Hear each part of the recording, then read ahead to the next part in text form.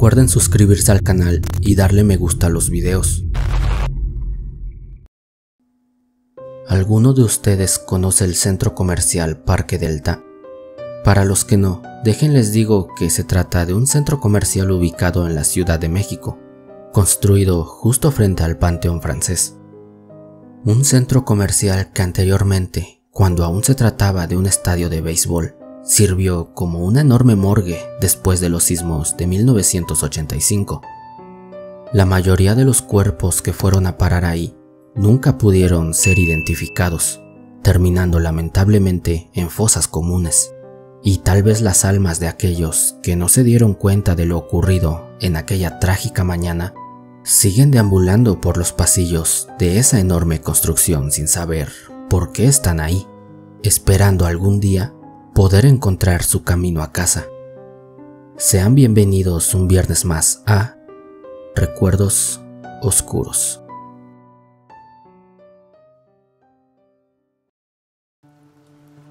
Cuando comenzaron a construir la plaza Parque Delta, trabajaba como vigilante en un edificio de departamentos muy cerca de ese lugar y siempre todas las noches veía pasar por ahí a los obreros que trabajaban en la obra.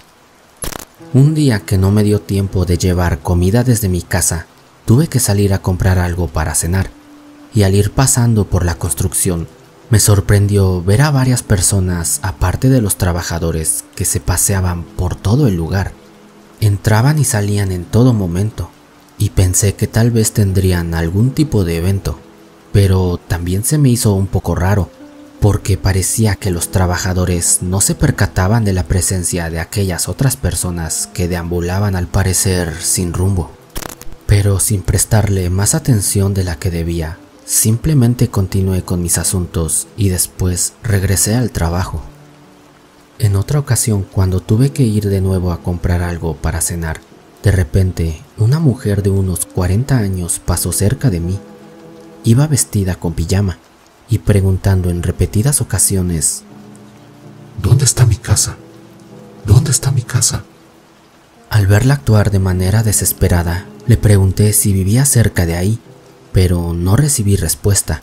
Solo se alejó dirigiéndose hacia adentro de la construcción. Yo le hablé varias veces diciéndole, Señora, venga, yo puedo ayudarla, no entre ahí, es peligroso. Mientras seguía intentando que aquella mujer me hiciera caso, una mano me tomó del hombro y una voz me preguntó, ¿qué se le ofrece? Era uno de los trabajadores de la construcción, y al verlo le dije que la mujer necesitaba ayuda, pero que no me escuchaba, y al decir eso, él me preguntó, ¿cuál mujer? Le señalé justo al frente, donde estaba parada aquella señora pero el trabajador me dijo que ahí no había nadie. Sí, mira bien. Insistí diciéndole, pero él juraba que no veía nada. Mientras tanto, la mujer se alejó, perdiéndose dentro de la construcción hasta que ya no pude verla. Y entonces decidí volver a mi trabajo, un tanto confundido. Ya estando dentro del edificio, pude ver nuevamente a esa mujer pasar junto a mí. Eso me sorprendió mucho, porque yo era el único que tenía las llaves de la puerta, y a esa mujer nunca la había visto en el edificio. A pesar de estar muy confundido, le hablé, pero otra vez no me respondió y comenzó a caminar entre los pasillos. Yo la seguí hasta que se detuvo cerca de una pared y ahí permaneció parada sin moverse por unos cuantos segundos, hasta que de repente, sin más, se desvaneció frente a mis ojos. Muy asustado salí corriendo de ahí y quise salir del edificio, pero cuando llegué a la puerta principal y abrí, ahí estaba parada al otro lado, dándome la espalda. Me quedé mirándola inmóvil y muy asustado, hasta que comenzó a caminar con rumbo a la construcción. Después de eso, pedí mi cambio de plaza para no tener que volver a lidiar nunca más con algo parecido.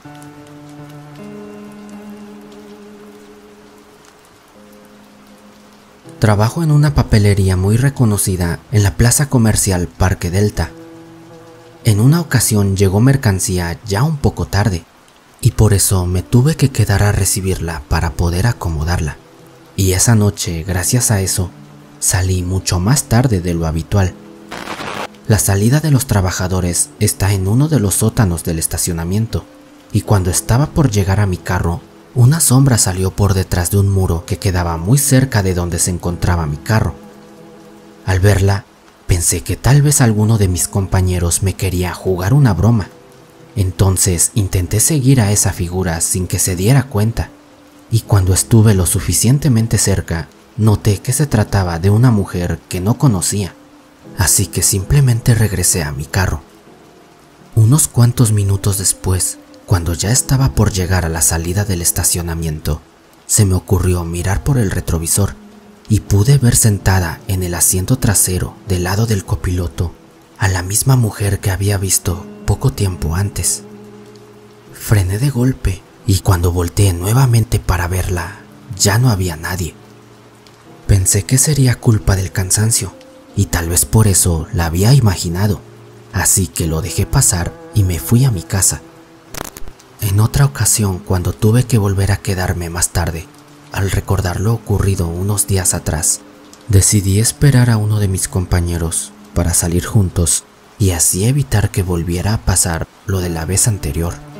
Pero ya estando en el estacionamiento, al despedirnos, de repente él se quedó parado cerca de un muro y yo le pregunté si se le había olvidado algo, pero su respuesta fue levantar la mano y señalar el muro frente a él. Cuando me acerqué, él estaba temblando y con la mirada fija al lugar que señalaba, y al mirar a esa dirección pude ver la silueta translúcida de una mujer que parecía estar observándonos a pesar de no tener rostro, y por algún motivo me pude dar cuenta que se trataba de la misma mujer que había visto unos días antes sentada en mi carro, y eso me llenó de miedo. Los dos nos quedamos inmóviles ahí parados por un buen rato, y solo pudimos reaccionar gracias a la voz de uno de los vigilantes, que al vernos ahí parados sin reaccionar nos habló, y solo así pudimos salir de la especie de trance en el que estábamos. Todo está bien por aquí. Al escuchar esas palabras sentimos en ese momento una sensación de alivio y volteamos a verlo para responderle muy tranquilos. Sí, todo está bien. Enseguida regresamos la mirada para ver si ese fantasma o lo que fuera seguía ahí, pero ya no estaba. Mientras tanto, el vigilante continuó revisando el lugar y nosotros aprovechamos para salir de ahí con algo más de compañía. Unos días después, platicando con otros compañeros y empleados de la plaza, nos dimos cuenta que no éramos los únicos que habían visto a la mujer del estacionamiento.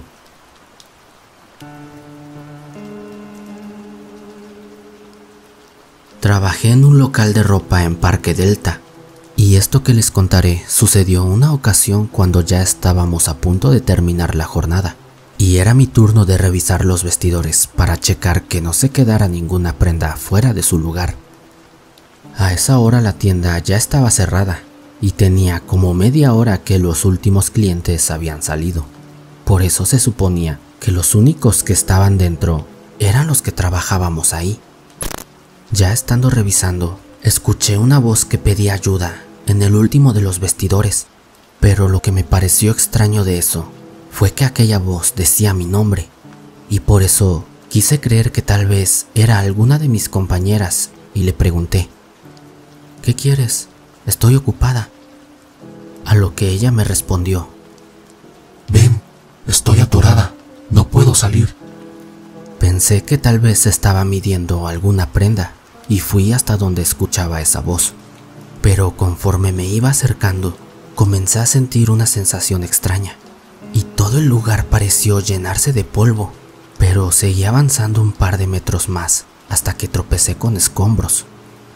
Eso me dio un poco de miedo y mejor decidí regresar, pero cuando di la vuelta, esa misma voz me volvió a llamar a gritos. Ayúdame, por favor, ayúdame. Quería pensar que todo eso se trataba de una pesadilla y que eso no me estaba pasando, e intenté salir de ahí, pero no podía porque todo el lugar se había transformado en una montaña de puros escombros y no sabía por dónde avanzar. Sin saber cómo, Llegué justo al vestidor del que salía aquella voz y por curiosidad me asomé levantando un poco la cortina. Al hacerlo, vi claramente a una mujer atrapada debajo de toneladas de escombros. Su rostro estaba lleno de tierra y era lo único que salía de esa montaña de varillas y concreto. Intenté ayudarla, pero por más que quitaba piedras de encima, no podía sacarla, y cuando traté de limpiar un poco la tierra de su cara, mi mano la atravesó.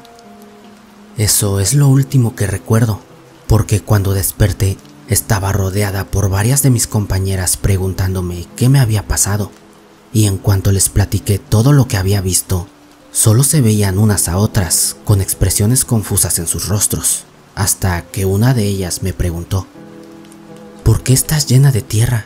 ¿De dónde salió?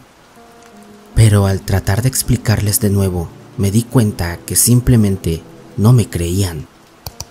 Unos días después decidí renunciar porque mis compañeras comenzaron a alejarse de mí y a tratarme con mucha desconfianza.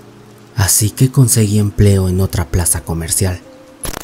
Varios meses después, una compañera de aquel empleo anterior también llegó a trabajar al mismo lugar que yo, y platicando con ella, me dijo que le había pasado lo mismo que me ocurrió aquella vez y que de igual manera nadie le creyó y comenzaron a tratarla como loca.